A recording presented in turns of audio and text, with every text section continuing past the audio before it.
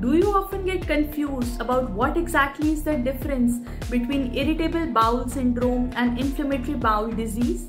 Let's find out. IBS is a condition when contents of your large intestine either move too quickly or too slowly.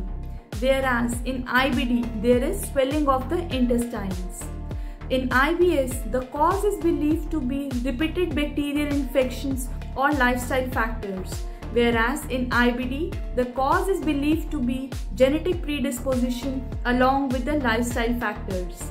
In IBS, the symptoms are sometimes there can be constipation or there can be diarrhea, whereas in IBD, diarrhea is more observed. Along with that, there can be abdominal cramps and bleeding in stool.